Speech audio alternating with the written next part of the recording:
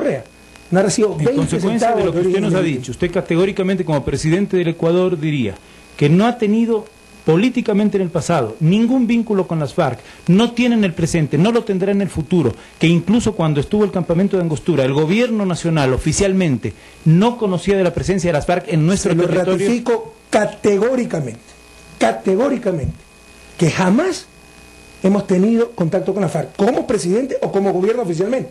Yo no puedo garantizar que, como declaró Ignacio Chovín, se haya reunido siete veces con Reyes. Bueno, y sobre eso mismo, el diario El Tiempo dice hoy, el diario El Tiempo de Bogotá, señor presidente, exfuncionarios de Ecuador, Gustavo Larrea y José Ignacio Chauvin, eran emisarios de las FARC. Eso lo ha dicho el ¿De la fiscal. FARC? De las FARC. O emisario del gobierno hacia la FARC. No, no, de las FARC. De las FARC hacia la gestión en Ecuador. No, eso es absolutamente falso. Eso lo dice el fiscal Jamás yo hubiera aceptado-. Jamás yo hubiera aceptado que un ministro mío se presente como emisario de la FARC. Jamás. ¿Usted sabe dónde se reunió Gustavo Larrea con, con Raúl Reyes? Porque ha habido mucho sobre este tema. Gustavo Larrea dijo que era en tercer país cuando estaba todavía en el Eso ministerio. que me informó a mí también. Y el fiscal, eh, Washington Pesantes, la semana pasada ha dicho que cree que es en el Caguán, que es una zona de, de Colombia, la zona de Es despeje que de las FARC. en primer, en un- bueno, en un primer momento, Gustavo Larrea es mi enviado en diciembre, a finales de diciembre a Colombia, para el caso de este niño Emanuel. Mientras Que no estaba en funciones. comisión, Claro, él no estaba en Que funciones. se forma esta comisión internacional. Entonces ahí realiza contactos con la FARC, lo- se le acerca a la En FARC Colombia. para tratar de liberar a rehenes en suelo ecuatoriano. Eso me informa, y cuando me informa dice, bueno, si podemos eh, interceder en esa misión humanitaria en buena hora, entonces de ahí va a tener un contacto, ni siquiera sabía con quién. Pero Yo era en Colombia que ese contacto, presidente. En diciembre, Sí, el contacto diciembre, fue en cuando no Colombia. estaba en el ministerio. Exacto, y cuando fue esa misión, Pero eh, fue en Colombia, eso sí. el primer contacto con la FARC en que le dicen queremos liberar rehenes en suelo ecuatoriano. Ahora, ¿no involucre de algún modo políticamente, más allá de que José Ignacio Chauvin, eh, Gustavo Larrea han dicho, eso era una misión humanitaria, teníamos este fin específico, ¿no le mancha al gobierno ecuatoriano, no le salpica, eh, teniendo en cuenta lo que significa el reguero de muertos que ha dejado a la sociedad Entonces quiere colombiana? decir que, que está manchado el Senado de Estados Unidos, porque muchos senadores intercedieron para la liberación de Ingrid Betancourt, está manchado el gobierno de Sarkozy, porque muchos intervinieron, Lula, todo el mundo está manchado. Porque todos tratábamos de liberar a Ingrid Betancourt a ecuatorianos que estaban secuestrados, a los tres norteamericanos, etcétera. Yo creo que una labor humanitaria nunca puede manchar a nadie. Vea, no nos engañemos. El verdadero problema de Ecuador, el verdadero pecado de Ecuador, es ser vecino de un país que se desangra en una lucha fratricida. Y esto nos ha involucrado en una serie de problemas totalmente injustos. Porque lo que deberíamos tener es el agradecimiento de los colombianos por las centenas de miles de refugiados. ¿Perseguiremos a las sí, FARC si están aquí? Pero si esa es la orden directa que siempre hemos dado el primer momento, usted lea las actas secretas del COSENA, o sea, no tenemos por qué mentir en esas actas y son secretas, confidenciales. secretas, no las puedo leer. Podemos liberarlas, yo las puedo liberar. Y ya lo hice, ya lo ordené. Antes del bombardeo del primero de marzo, para que vean mis órdenes muy concretas y directas. Lo que sí es cierto, Andrés, es que se han desmantelado más de 100 campamentos. y nuestro gobierno mucho más que en años anteriores. Y otra cosa muy importante, Gonzalo, que ustedes como periodistas deben analizar, ¿ah? supuestamente los mensajes decían de acuerdo que íbamos a cambiar a los jefes militares. Mira si se cambió alguien.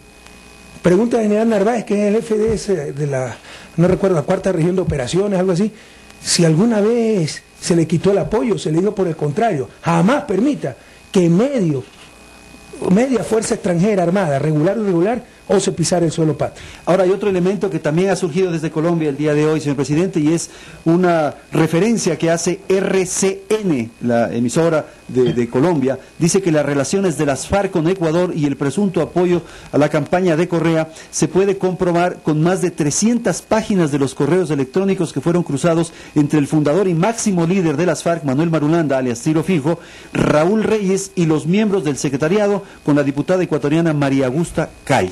Que lo prueben. Si incluso ya hay un informe de la propia policía colombiana que los mensajes no existían. Todo esto es tremendamente raro, Andrés. O sea, imagínense que un bombardeo sobrevivan milagrosamente computadoras. Luego que sean tan ingenuos los jefes de la FARC para tener estos correos, etcétera. Luego se los revisan los correos, las computadoras por parte de la propia policía colombiana y ahí tenemos la grabación, el reportaje diciendo no han existido correos, no existían. ¿De dónde vinieron esos correos? Por último, qué bueno que hubiera sido que Colombia en vez de presentar el video del mono Jojoy editado con, una falta de respeto a la OEA, ¿verdad?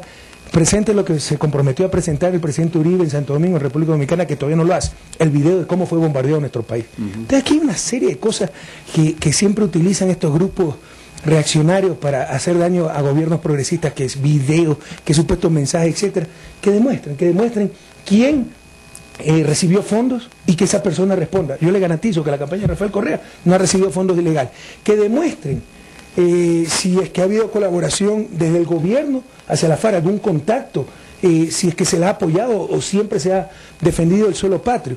Mira hasta dónde se llega. Hoy un editorialista dice que militantes de la Revolución Ciudadana son los que organizaron ese Congreso Bolivariano.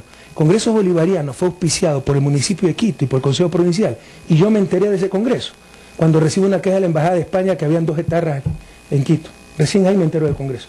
El gobierno no tuvo nada que ver en la organización. Pero hay gente que dice que lo organizamos el gobierno. Antes de Alianza País en el Congreso, el caso concreto de la señora Calle que le acaban de Bueno, mencionar. en todo caso, Gonzalo, nosotros tenemos millones, como se demostró en las últimas elecciones, de simpatizantes y militantes. Y gracias a Dios, La señora todavía en este país, gracias a Dios, todavía en este país pensar no es ningún delito. Pensar Presidente. no, pero asociación con bandas armadas y con grupos ¿Y dónde está la- demuestre ser. asociación? Podría ser. Pero demostremos la asociación. Claro, si hubiese. Señor presidente, y El otro tema sobre esto, no sé. Ver. No, yo lo que sí, quería preguntarle ya para pasar al otro asunto es... eh, Pero fíjense, Andrés, cuánto tiempo tenemos que gastar en estos asuntos. ¿Y cuál es el delito de fondo? ¿Cuál es el problema de fondo? Ser vecino de un país que tiene una guerra civil. Es decir, el problema no está en Ecuador y de eso debemos partir en los análisis. El problema está en Colombia. Y por estar al lado de un país con tantos problemas, tenemos que gastar con el presidente de la República 15, 20 minutos dando estas explicaciones. Fíjese, pero es que tiene lo lamentable la una situación. connotación internacional Pero que ¿por qué? Porque presidente. vivimos al lado de un país en guerra donde sí hay narcopolítica, donde sí hay parapolítica. Mire, el gobierno de Uribe ha sido muy prudente, si ustedes analizan, en esto del video del Mono hoy. Pero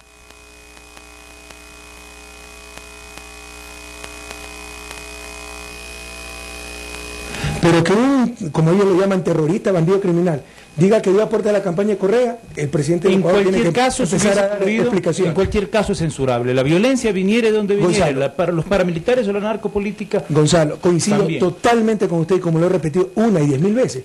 Yo jamás podré eh, compartir las prácticas de la ¿Qué FARC. diría usted si se llega a comprobar que Gustavo Larrea, que Ignacio Chavín, que María Augusta Calle tienen vínculos con las FARC? Bueno, tendrán que responder ante la justicia. Tendrán que responder A la justicia de la- nuestro país también. Yo lo que le garantizo es que el gobierno nacional como gobierno, y sobre todo el presidente Correa, jamás ha tenido emisario, jamás ha tenido al- algún contacto con la FARC, jamás ha tenido algún compromiso con la FARC, como lo demuestran los hechos, porque si fueran verdad, los mensajes, los acuerdos, etcétera, se hubiera cambiado el jefe policial de sucumbido, se hubiera cambiado al comandante de esa zona amazónica y por el contrario, recibieron todo el apoyo del gobierno, ahí están las actas de COSENA, para combatir los grupos irregulares que se infil- infiltraban en nuestro territorio. Presidente, está por terminar, ya, ya se hizo el último vuelo de las naves que operan desde Manta en la base eh, militar norteamericana en esa ciudad eh, de la costa ecuatoriana. Y se lleva esa instalación, ese equipo, esa infraestructura se lleva a Colombia. Eso genera otro nivel de tensión y de preocupación por la instalación gravísimo. de este tipo de bases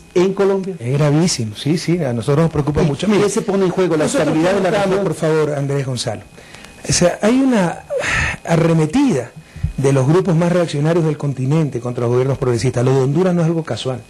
Y un golpe de Estado tan burdo, tan torpe, tan descarado, al estilo de los años 60, 70, cuando en América Latina reinaba la ley de la selva, no pudiera sostenerse si no tuviera el apoyo, no del gobierno Obama, yo confío en el presidente Obama, pero Obama no controla una sociedad tan compleja como los Estados Unidos, de poderosos grupos ultraconservadores que incluso quisieran desestabilizar el propio Obama de los Estados Unidos, más ciertos grupos militares, más ciertos grupos de inteligencia, que no los controla el gobierno de Estados Unidos. Entonces notamos que hay toda una arremetida contra, contra gobiernos democráticos, progresistas, etcétera. Y hay gobiernos y países que se prestan para esto. Que se pongan esas bases militares en Colombia, yo creo que sería un factor de desestabilización para la región. Sería tremendamente peligroso, sería tremendamente riesgoso y ojalá que eso no se concrete. Pero ¿y cómo se va a expresar eso? ¿Se va a expresar en desestabilizar políticamente a los gobiernos o en un momento dado podría haber acciones militares? Eh, eh, no podemos excluir eso en el futuro. Mire que en la propia Colombia hay sectores tremendamente guerreristas, sectores que todavía defienden la doctrina de poder agredir cualquier país en nombre de la defensa de Colombia. La misma doctrina que tiene Israel, la misma doctrina que utilizó el gobierno Bush, que va contra todo el derecho internacional, contra la Carta Interamericana de la OEA. Entonces, si esos grupos llegan al poder, si es que ya no están, más las bases militares de Estados Unidos en Colombia, sería gravísimo para la estabilidad, estabilidad de la región. La Carta Interamericana de la OEA que usted cita, señor presidente, en su